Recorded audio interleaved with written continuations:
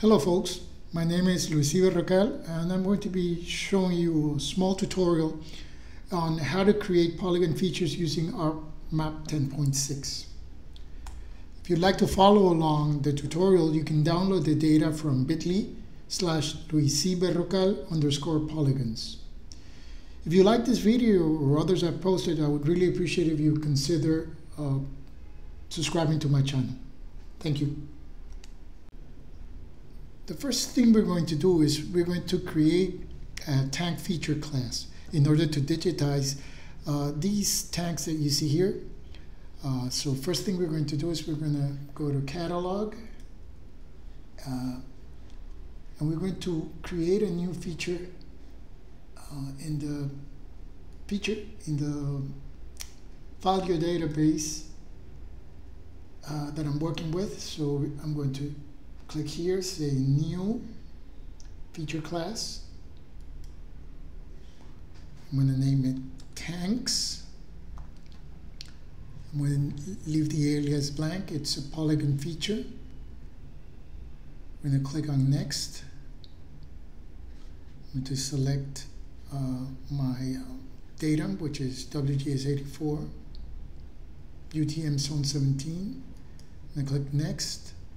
I'm going to keep the default tolerance, the default keyword, and I'm going to add four attributes. I just click here and I material, which is what the, I'm going to leave, leave it in text and leave these field properties by default. I'm going to put content. It's also going to be text. Oh, oops, I to type content so change that. Now I'm going to do in service service notice I and I'm going to use um, short integer because I'm going to be using one if it's in service and zero if it's not. I'm going to put code. Use text I'm going to keep the field properties as default and that's about it. All I have to do now is click here and finish. And you can see here tanks has been added. Now I'm going to add it to my map by dragging it into my table of contents. There we go. Now we're going to find our uh, editor toolbar we're going to click here and start our editing session, start editing. Then we're going to select what we're going to start editing. We're going to edit tanks. Click OK. And now I'm going to click on Create Features. Once I select Create Features, I'm going to select Tanks. And down here on Construction Tools, move this up a little bit, I'm going to select circle. What I'm trying to try to do is I'm going to click on the center of the circle and start and then click on the border. Click on the center, then the border.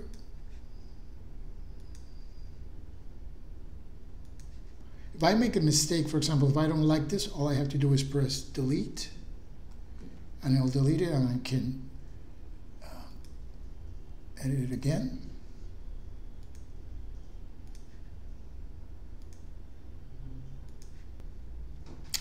I finished uh, digitizing all my tanks. So now what I'm going to do is I'm going to, on, on the editor toolbar, I'm going to do save edits. And now I'm going to uh, build a building polygon. And I'm going to choose the rectangle tool. I'm going to zoom in a little bit more. Okay, that went, that went wrong. I'm gonna go back. I'm gonna go here. I'm gonna digitize this. I'm gonna use, I'm gonna show you what happens if I use a polygon tool. And go like this, click, click, click, click, and then I do finish sketch. But now my polygon, my house, this building is not actually a, a rectangle. You see, the, the angle is slightly off.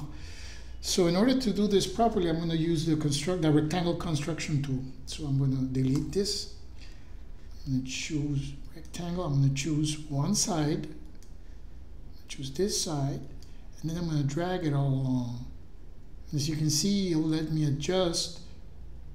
Click, and now as you can see, my building has 90 degrees on each of its uh, angles. Okay, now I'm going to show you how to use the autocomplete polygon. For example, let's say that this building here has an adjacent building. Now I can use snapping to build to build the, the adjacent building. But there's an easier way. All I have to do here is click the autocomplete polygon. I start here. I go this way. And let's do it a little bit more interesting, even though this is not the real. I'm going to click here, and then I'm going to click in the middle on the edge. Click. And I'm going to say finish part. Finish sketch, I'm sorry. And now as you can see, it found where the two buildings intersected and it created the whole polygon based on that. So when it's a very complex uh, feature, this is the easiest way to do. Now I'm going to show you how to quickly attribute the tanks we already had digitized. Now I know these tanks here in this area are all made of concrete, so um, I'm going to select them I clicked on shift and I shift I click on them. Okay. Um, now I'm going to right click here and say open attribute tables. And on material, I'm going to right click and do field calculator. And I'm going to type here between quotes concrete.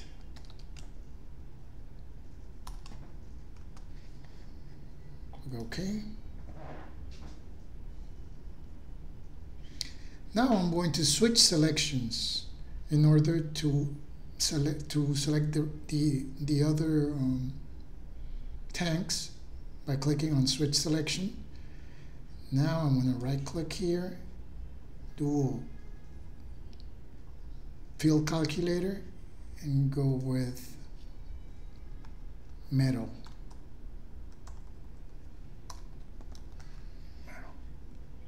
Click OK.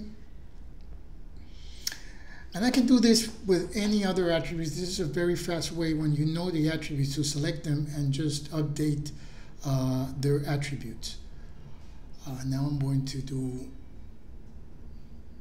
save edits, stop editing. Now um, my data has been saved. Uh, thank you so much for watching this video.